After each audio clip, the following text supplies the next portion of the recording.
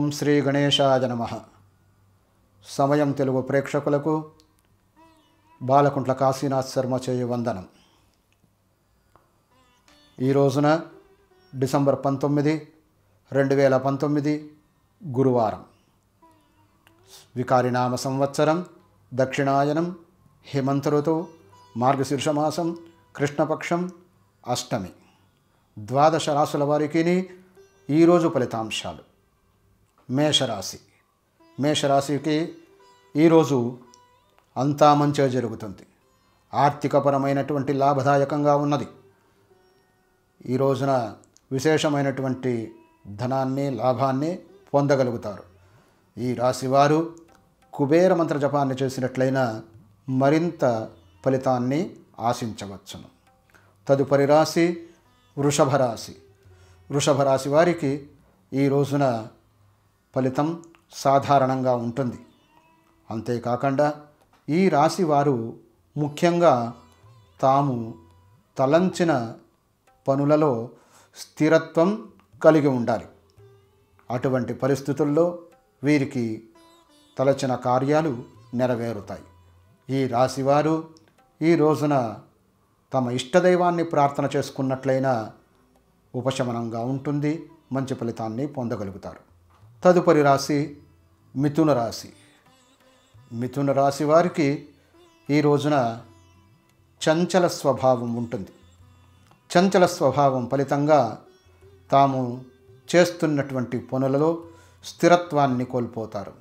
అందువలన స్థిరంగా ఆలోచించినట్లయినా వీరికి ఈ రోజున మంచి ఫలితాన్ని పొందేందుకు అవకాశాలు ఉన్నాయి ఈ రాశివారు ముఖ్యంగా దక్షిణామూర్తయే నమ అన్న మంత్రాన్ని పదహారు సార్లు జపం చేసినట్లయినా కొంత ఫలితం ఉంటుంది.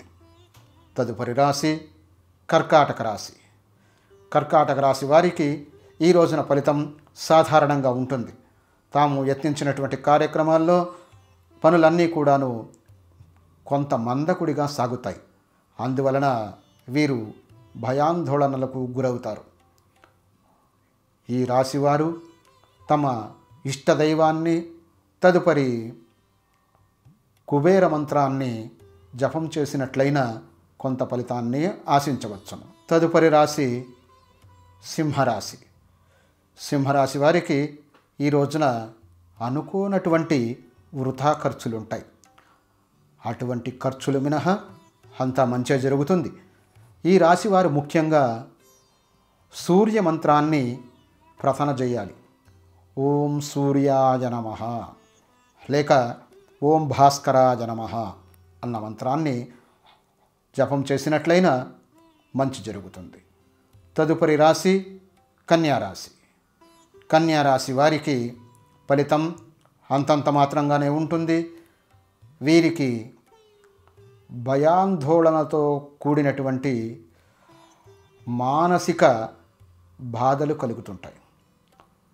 ఈ బాధల నుండి ఉపనిమిషం ఉపశమనం పొందడానికి వీరు నారాయణ మంత్ర జపాన్ని మహాలక్ష్మి మంత్రముతో కూడా సంపుటీకరణం చేసి జపించినట్లయినా చాలా మంచిది.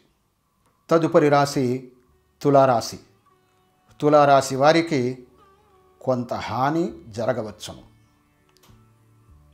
ప్రమాదం జరిగే అవకాశం ఉంది. కాబట్టి జాగ్రత్త వహించాలి. వీరు తమ ఇష్టదైవాన్ని ప్రార్థన చేసుకున్నట్లయినా కొంత ఉపశమనం కలుగుతుంది. తదుపరి రాశి వృశ్చిక రాశి. వృశ్చిక రాశి వారికి ఏమంత లాభదాయకం కాదు. ఫలితం సాధారణంగా ఉంటుంది.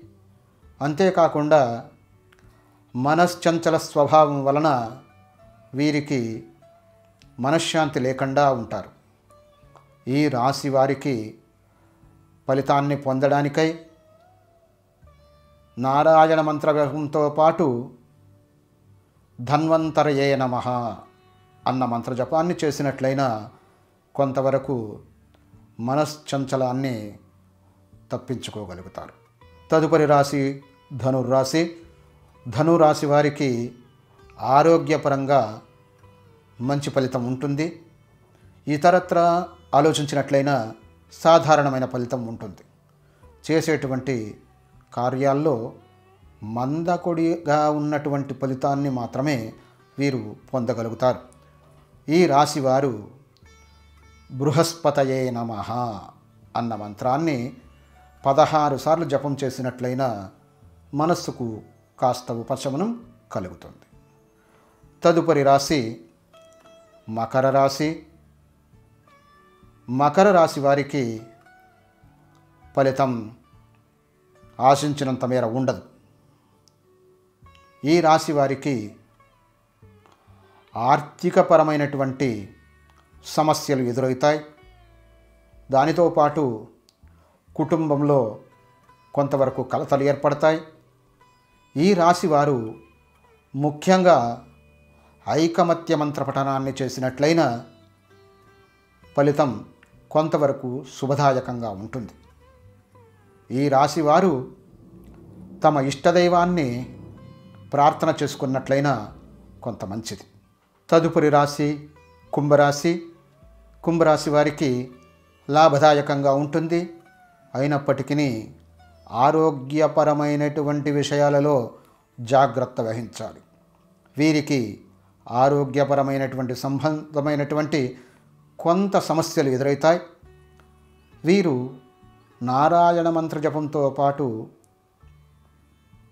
ధన్వంతరి జపాన్ని పద్దెనిమిది సార్లు చేసినట్లయినా కొంత ఉపశమనాన్ని కలుగుతారు.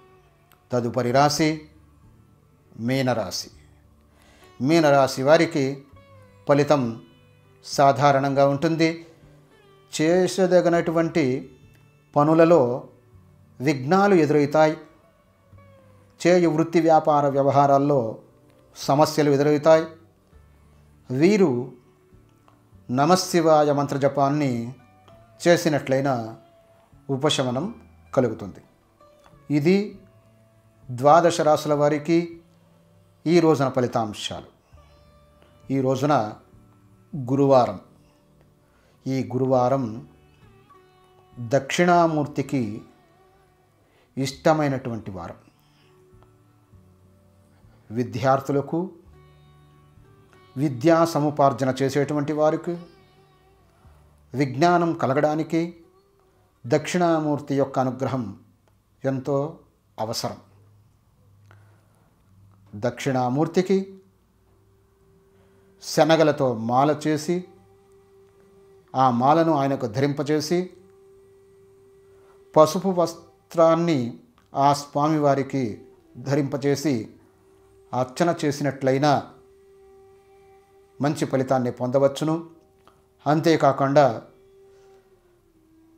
ఆ స్వామివారి అనుగ్రహం కోసం దధ్యోదనాన్ని నివేదన చేసి భక్తులకు పంచిపెట్టినట్లయినా దక్షిణామూర్తి అనుగ్రహం చేత వారికి విజ్ఞాన సంబంధమైనటువంటి విద్యా సంబంధమైనటువంటి దోషాలు తొలగుతాయి. విద్యా విజ్ఞానంలో అపారమైనటువంటి ఫలితాన్ని పొందగలుగుతారు. సర్వే జనా సుఖినో భవంతు సమస్త సన్మంగళాని భవంతు. మళ్ళీ రేపటి ఎపిసోడ్లో కలుస్తాం. నమస్కారం.